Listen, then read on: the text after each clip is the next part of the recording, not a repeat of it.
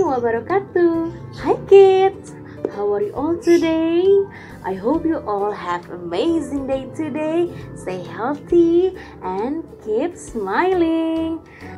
Baik teman-teman, hari ini Miss mau ajak teman-teman semua untuk membuat satu hiasan yang bisa kita gunakan untuk menghias kamar teman-teman semua. Bisa di uh, untuk hiasan pintu, di dinding dan di jendela di mana pun teman-teman mau untuk mendekorasi kamar teman-teman semua. Oke kalau begitu teman-teman semua sudah siap? Before activity, let's say basmalah. Bismillahirrohmanirrohim Oke baiklah, Miss akan beritahu alat dan bahan yang akan kita butuhkan kertas origami yang nantinya akan kita potong menjadi bagian seperti ini. Lalu lem kertas,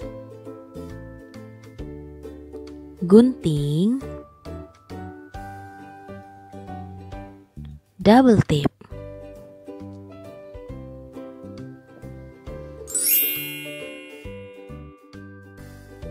Oke teman-teman, nanti kertas origaminya boleh dibuat garis dulu seperti ini ya, agar rapi dalam mengguntingnya.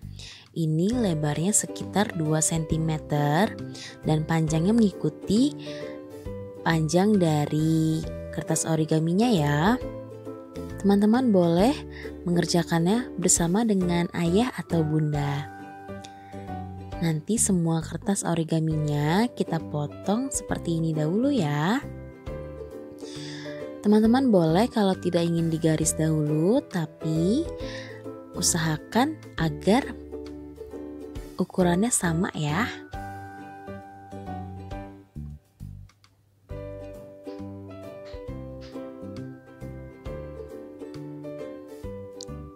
Nah, seperti ini nanti jadinya. Kelima kertas origaminya kita potong dengan bentuk yang sama ya. Dan sekarang kita siap untuk membuat hiasan rantainya, rantai warna-warni. Nah, teman-teman ambil satu bagian kertas origami yang sudah digunting menjadi potongan seperti ini.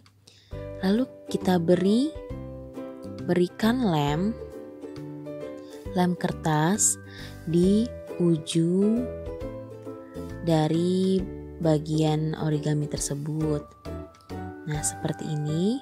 Lalu kita tempelkan. Nah, jadi seperti ini.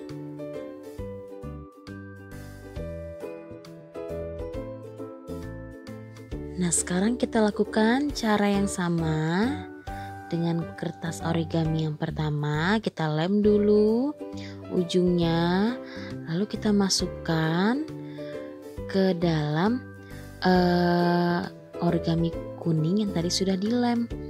Nah, kita sambungkan menjadi seperti ini. Dilem dahulu ya, agar lebih mudah untuk teman-teman menempelnya. Dilem bagian yang berwarnanya.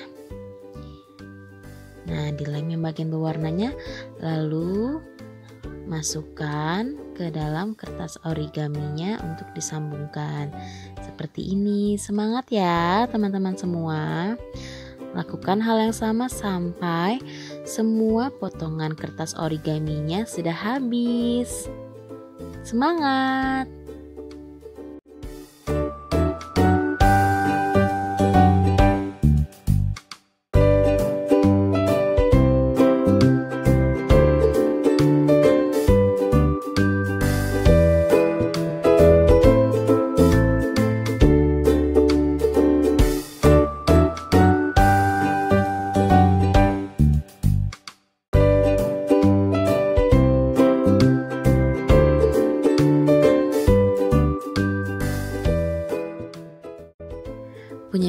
Hampir selesai teman-teman. Nanti kalau sudah selesai, teman-teman boleh hiasannya dipajang atau ditempelkan di pintu, di jendela, atau di lemari di mana pun teman-teman mau ya. Seperti contohnya punya Miss Dinan, bisa tempelkan di jendelanya Miss seperti ini. Jangan lupa tambahkan double tip untuk merekatkan hiasan ini ya. Teman-teman, sekian untuk hari ini. Semoga teman-teman happy dengan kegiatan yang Miss berikan. After activity, let's say hamdalah. Alhamdulillahi Rabbil Alamin. Thank you so much for today. Wassalamualaikum warahmatullahi wabarakatuh. Bye bye. See you kids.